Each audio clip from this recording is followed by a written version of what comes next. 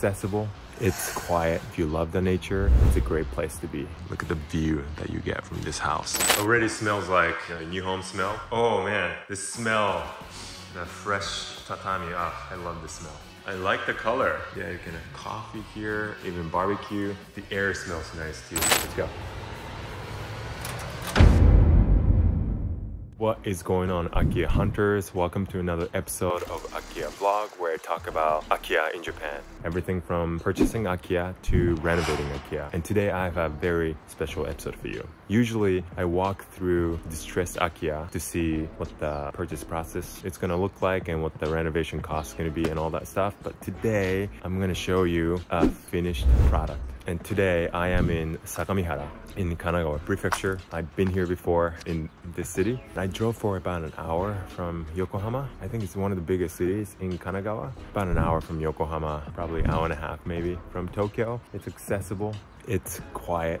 You know, if you love the nature, it's a great place to be. I mean, look at the surrounding. Look at the view that you get from this house. Uh, mountains are around and also there are lakes here too. So if you like the nature and don't mind being a little bit far away from, you know, big cities like Tokyo and Yokohama, this place might work just for you. So this is not my property. This is a property one of my clients purchased a couple months ago. The renovation just got finished recently and he gave me the keys to the property so I can take a look. Super excited to show you the inside, what the final product of the renovation looks like. But before I get into that, let me show you the walkthrough of the before, what it looked like when he purchased it. So this is the footage of the walkthrough before the purchase of the property. It was already a decent looking house, but the flooring and the walls screamed an 80s house in Japan. This house was built in 1984 and the previous owner kept the inside pretty clean for a 40 year old house. But the flooring,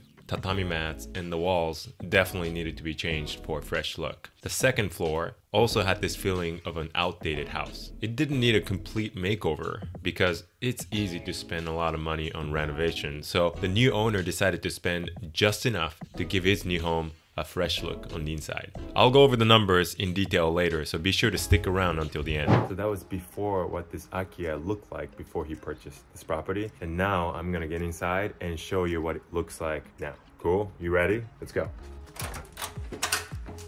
お邪魔します. Already smells like the new new home. You know, new home smell. Uh, look at this. The flooring is nice and new. The walls are new. And to my left, the bathroom. Okay.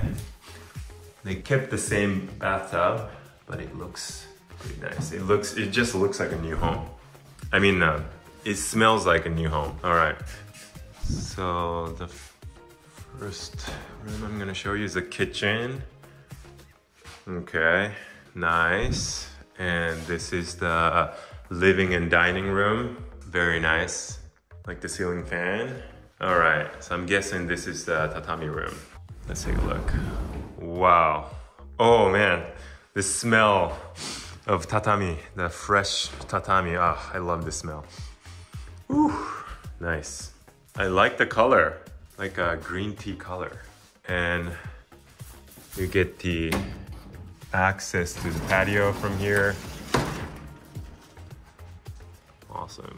Yeah, you can have coffee here, even barbecue during the summertime. So Sagamihara, since it's up a little north of where I am usually, and in the mountains, the temperature is definitely lower than what it was uh, when I left Yokohama. I'm guessing it gets much colder here in the winter time. But summertime is probably nice because it's also cooler. Let me check this out. This is probably the toilet. Nice. Okay, nice and new. Okay, let's go to the second floor. Here's the second floor. Okay, let's take a look at this room. Nice first bedroom connected to the second bedroom divided by these sliding doors. Nice. And this is probably the toilet. So this house has two toilets, one on each floor, which is nice. You don't have to go downstairs if you're sleeping up here. Wow, this is another tatami room. Oh, I could be here all day. Just smell this fresh tatami. Very nice. And again, you get this view of the nature of Sagamihara. Look at that. Very quiet. The air smells nice too.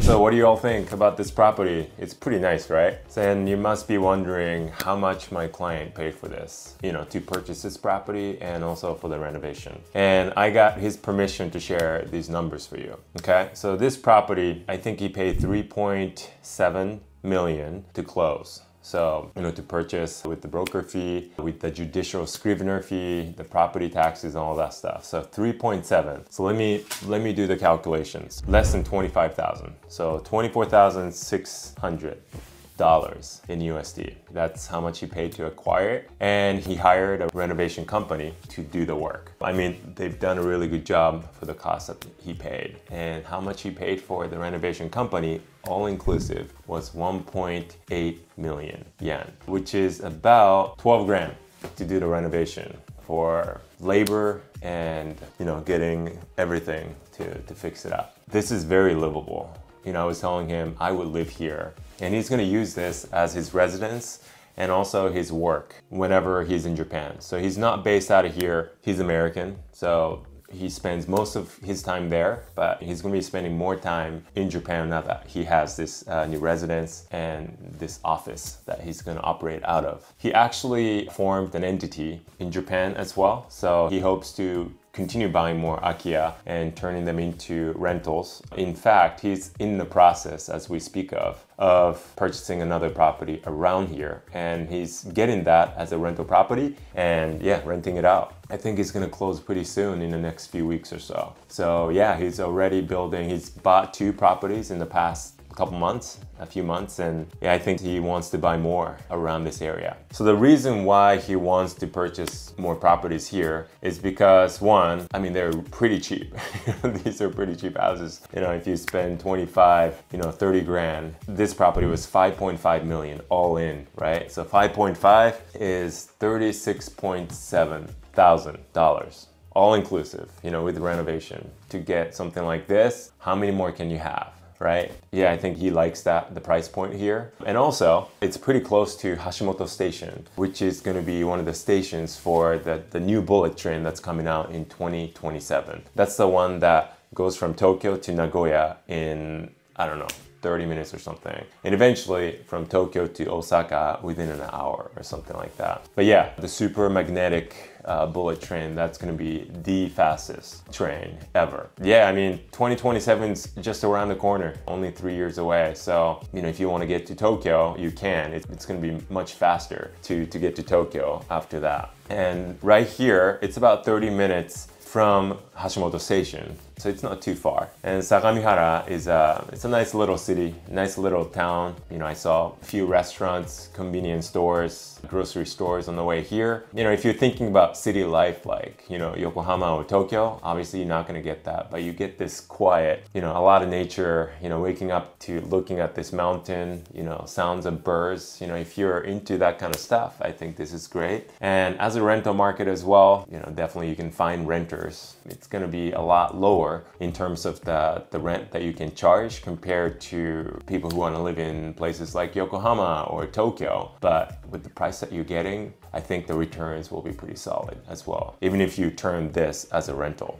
Yeah, that's that. It's pretty cool. You know, I got to be part of the whole process. I'm really happy for my client who's gonna be living here, who's gonna be using this space as his office and help him grow his portfolio, you know, in this area to start with and maybe greater Sagamihara area. Who knows, right? But anyway, I hope you enjoyed this episode of Akiya Vlog. If you did, leave a comment and let me know what you liked and also what you want to see more of in the future. I'm going to be coming out with more renovation projects in the future but this is one of the first ones where I talk about, you know, before and after of Akiya renovation. And if you're serious about buying an Akiya for, you know, your use, personal use, or as a rental property, we have a service for you. You can apply for Akiya income generator if you want to purchase Akiya as a rental property, or if you want to use it as a personal use, you can apply for Japan Akiya Assist. Links are below. Thanks for watching. I hope you enjoyed this video. And if you did, make sure to check out this one next for more. And I will see you in the next one.